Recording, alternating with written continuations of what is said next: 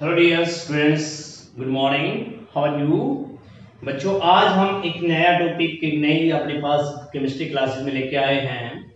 और वो टॉपिक का नाम क्या है आपके पास? फ़िज़िकल प्रॉपर्टीज़ ऑफ़ एल्कोहल क्या है? फ़िज़िकल प्रॉपर्टीज़ ऑफ़ एल्कोहल देखिए द फ़र्स्ट प्रॉपर्टी क्या है? द लोअर मेंबर्स हमारे पास लोअर मेंबर्स की बात कर लेते हैं पहले। लोअर मेंबर्स जैसे लोअर मेंबर पहला कौन सा हो गया? C S three O H दूसरा कौन सा हो गया? C S three C S two O H तीसरा कौन सा हो गया? C S three C S two C H two O H ही हमारे पास। Methanol, ethanol, propanol. ये हो गए लोअर मेंबर फिर इससे आगे हो गए हायर मेंबर कहते लो first property first first property. The lower members of alcohol जो हमारे पास होते हैं, आर कलरलेस। फ़र्स्ट। वो क्या कहते हैं? कलरलेस होते हैं। कलरलेस के साथ साथ कहते हैं, वोलेटाइल लिक्विड होते हैं हमारे पास। Volatile liquid. मीन जो हवा में आसानी से वेपराइज हो जाए हमारे पास। और विद एक करेक्टरिस्टिक्स आपके पास एल्कोहलिक स्मेल फ़र्स्ट प्रॉपर्टी होती बेटा फ़िज़िकल हम उसकी पहचान हो गई। जो तो फ़र्स्ट जो हमारे पास है the lower members of alcohols are colourless volatile liquid and a characteristics of alcoholic smell हमारे पास कहते हैं। ठीक है वेरे जो हायर मेंबर्स होते हैं, वो आपके आउटरलेस होते हैं टेस्टलेस होते हैं। हायर मेंबर हायर मेंबर्स क्या होते हैं? आउटरलेस एंड टेस्टलेस ये तो फ़र्स्ट प्रॉपर्टी इसको हम बोलते हैं फ़िज़िकल स्टेट ठीक है? एल्कोहल की first property physical state lower member कैसे हैं? हायर मेंबर कंफर्म हो गया. अब सेकंड बात करते हैं सोलुबिलिटी ऑफ़ एल्कोहल की. सोलुबिलिटी ऑफ़ एल्कोहल इसको देखना ध्यान से, ठीक है? सोलुबिलिटी की बात करते तो फ़र्स्ट थ्री मेंबर्स हमने मैंने पहले लिखा हुआ है फ़र्स्ट थ्री मेंबर जो हमारे पास होते हैं अल्कोहल्स के are completely miscible in water these first three members are completely miscible in water हमारे पास, ठीक है? बट द सोलुबिलिटी होती है, वो रैपिडली डिक्रीज होती है विद इंक्रीज सोलुबिलिटी क्या होती है? डिक्रीजेज होती है. सोलुबिलिटी decreases with इंक्रीज किसके साथ? भाई, किसके बढ़ने से? इट्स मॉलिकुलर मास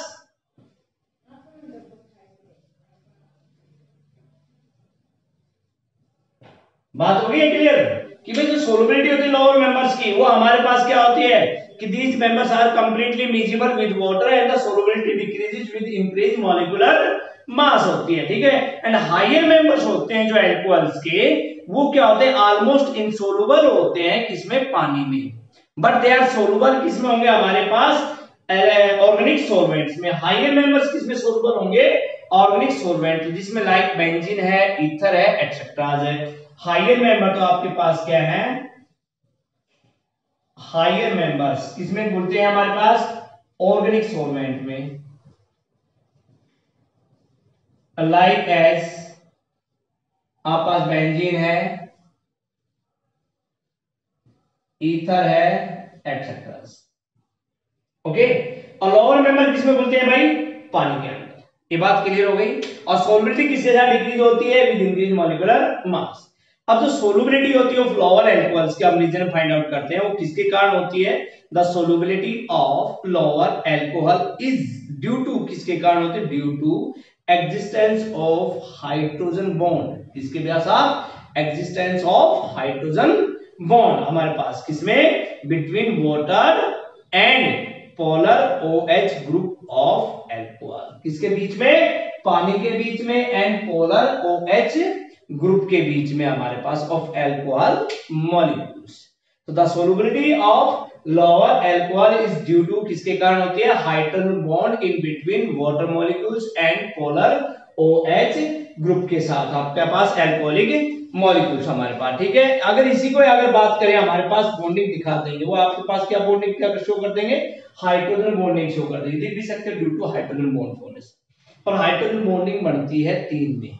फ्लोरीन में ऑक्सीजन में नाइट्रोजन में ओके हाइड्रोजन बॉन्डिंग हमारे पास। And the solubility of alcohol हमारे पास in water decreases with increase molecular mass ये लिख रखा मैंने। कि the solubility the solubility of water या sorry the solubility of alcohol decreases in water the solubility of alcohol in water decreases with increase its molecular mass किसके कारण? Because involving molecular mass जब molecular mass involve होता है उसके अंदर तो the non polar alkyl group किसके कारण? लिख दे इसका reason due to non polar हमारे पास किसके कारण? Due to non polar alkyl group alkyl जो ग्रुप होता है, हमारे पास बिकम्स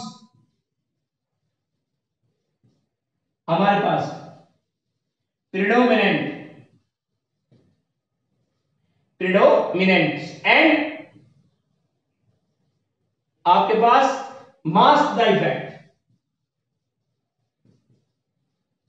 Mass the effect. हमारे पास किस पे? O polar O polar O H group किसके कारण होती है भाई? द अब question the solubility of alcohol in water decreases with increasing molecular mass किसके कारण? कि आपके पास कि increasing of molecular mass the non polar alkyl group becomes predominant आपके पास एनमास का इफ़ेक्ट ऑफ़ पोलर ग्रुप जिसके कारण वो डिक्रीज होती है रीजन आपके पास है। इन एडिशन हम कहते हैं कि आइसोमेरिक एल्कोहल आइसोमेरिक मतलब जो ब्रांचिंग में चले जाए ब्रांचिंग चेन एल्कोहल होते हैं। वो हमारे पास ब्रांचिंग चेन एल्कोहल में क्या होती है इंक्रीजेस सोलबिलिटी क्या होती है? बढ़ती है उल्टी हो गई। उसमें क्या होती है? बढ़ती है। इन आइसोमेरिक एल्कोहल सोलबिलिटी इंक्रीजेस हमारे पास with branching of carbon chain ये भी कह सकते हो। तो उसमें सब जगह ब्रांच हो गई तो हमारे पास क्या हो जाएगा because surface area of non polar part क्या रीजन हो गया उसके अंदर? Because of the surface area of non polar part in the molecules decreases एक तो ये रहा सरफेस एरिया था, एक हमारा क्या हो गया ब्रांच में आ गई, एक ऊपर चली गई, एक क्या हो कंडेंस्ड हो गया तो सरफेस एरिया क्या हो गया, कम हो गया हमारे पास, ठीक है? मॉलिक्यूल क्या? डिक्रीज इनहेंसिंग द solubility, ठीक है? It mean that solubility decreases clear next point आपके पास थर्ड आपके पास solubility क्लियर हुआ? थर्ड आपके पास boiling point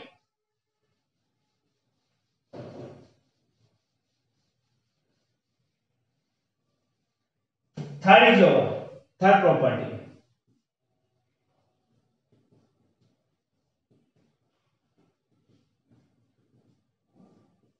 boiling point अब कहते हैं बॉइलिंग पॉइंट हमारे पास जो होता है ऑफ़ एल्कोहल्स का, जो boiling points of alcohols of alcohol much higher ज़्यादा बड़ा होता है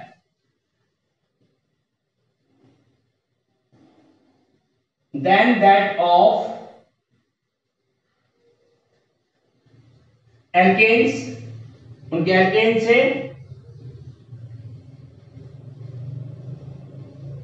एल्केन से और आपके पास इथर से।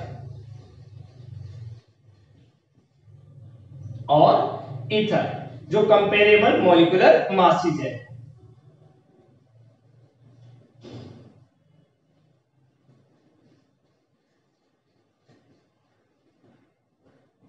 ये क्वेश्चन है कि बॉइलिंग पॉइंट ऑफ़ एल्कोहल का ज़्यादा होता है किससे? एल्केन उसके हाइड्रोकार्बन से। अब भाई सीरियस रीजन हमारे पास।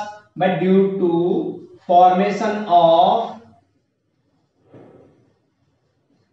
intramolecular hydrogen bonding due to formation of intramolecular hydrogen bonding exist and due to which a large amount of energy भाई हाइड्रोजन बॉन्डिंग बढ़ गई।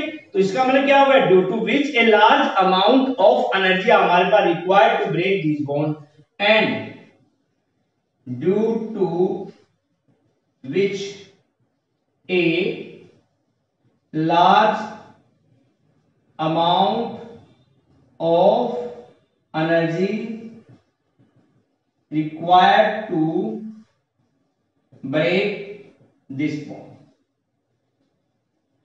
ये आपके पास ये देखिए ओ और हमारे पास एच आर ओ एच हो गया। आर ओ एच हमारे पास ओ आर एच इस प्रकार से आपके चलते जाएँगे। तो कह रहे due to formation of E आपके पास। ये हाइड्रोजन बॉन्डिंग है ठीक है? ये क्या आपके पास हाइड्रोजन बॉन्डिंग कह रहे due to formation of hydrogen bonding and due to which a large amount of energy required to break this bond thus they have a much higher boiling point ठीक है? अमंग आइसोमेरिक अल्कोहल की बात भी कर लेते हैं तो वहाँ पे द बॉइलिंग पॉइंट कहते हैं डिक्रीज होता है विद इंक्रीज ऑफ़ किसके? Branching of alkyl group branching of alkyl group में बॉइलिंग पॉइंट क्या होता है? डिक्रीज होता है। तो भाई सिंपल अगर सिंपल कार्बन चेन आ जाए अल्कोहल की तो वहाँ पर बॉइलिंग पॉइंट ज़्यादा होगा और उनका कम होगा, ठीक है? तो आइसोमेरिक अल्कोहल का बॉइलिंग पॉइंट कम होता है डिक्रीज होता है हमारे पास with increasing branching in the alkyl group और उनके कारण हम लिख सकते हैं boiling point order from for isomeric 1 degree 2 degree और 3 डिग्री किसके according due to isomeric alcohols के कारण, ठीक है? अब एक बात और भी कह रहे हैं। हमारे पास रहे हैं? लोअर एल्कोहल्स होते हैं ना लोअर एल्कोहल्स होते हैं।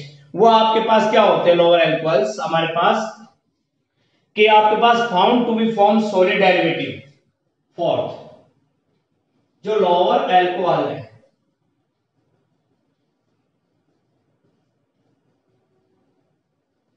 Found to be solid derivative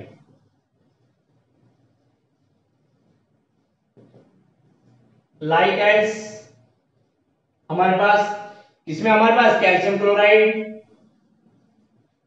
and magnesium chloride etcetera कि लोअर एल्कोहल हमारे पास किसमें पाए जाते हैं इसमें? तो करके देखिए for example C A C L two calcium chloride हमारे पास, और हमने किसके साथ ले लिया? C S three O H lower alcohol है हमारे पास। तो वो आपके पास क्या बना देगा? C A C L two C S three O H क्या बना देगा आपस सी ए Cl2CH3OH हम इसके कितने मोल लिए भाई? इनके साथ ऐड करने पर? 4 मोल लिए। तो वो आपके पास एक डेरिवेटिव बना देगा, कैसा? सोलिड बना देगा। ऐसा ही अगर हम बात करें किसके साथ? मैग्नीशियम क्लोराइड वो भी आपके पास बना देगा। और इसे क्या होता है? इट इज़ बिकॉज़ किसके कारण? Because of this reason that alcohols to be हमारे पास क्या कहते हैं? कि alcohols can not be dried with anhydrous and due to reason this या ड्यू टू दिस कह रहे एल्कोहल कैन नॉट बी हमारे पास dried with anhydrous calcium chloride और मैग्नीशियम क्लोराइड, इसीलिए आपके पास एल्कोहल है, वो अनहाइड्रस के साथ क्लोरा कैल्शियम क्लोराइड या मैग्नीशियम क्लोराइड के साथ रिएक्ट नहीं करता है। ठीक है, अब नेक्स्ट है एल्कोहल्स कहते हैं कि हैव इंटॉक्सिकेटिंग इफ़ेक्ट नेक्स्ट आपके पास।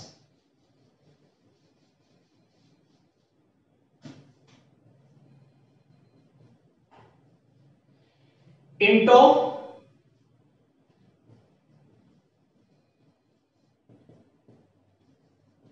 इफ़ेक्ट इंटॉक्सिकिंग इफ़ेक्ट हमारे पास कहते हैं कि मिथेनॉल कहता है is poisonous and not good for drinking purpose bad effect ये आपके पास क्या है? पॉइजनस है.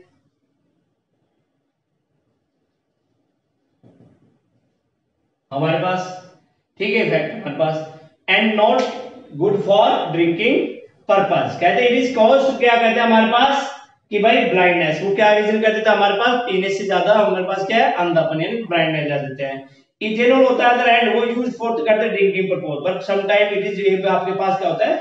बेकार हो जाता है, खराब हो जाता है पॉइजनस होता है, उसको कहते हैं intoxicating effect this are the for कुछ कुछ आपकी फ़िज़िकल प्रॉपर्टीज़ थी बच्चों, या आपके पास कुछ क्वेश्चंस बनते हैं। हमारे पास फॉर एग्जांपल कि tertiary butyl alcohol is much more soluble in water tertiary butyl alcohol is much more soluble in water than किससे एन ब्यूटाइल एल्कोहल इस प्रकार से क्वेश्चन आपके पास है, या N hexanol is not soluble in water हमारे पास। या कहते हैं N hexanol is not soluble in water. This type questions you can do more and more practice for your competitive, your board examinations. And thank you.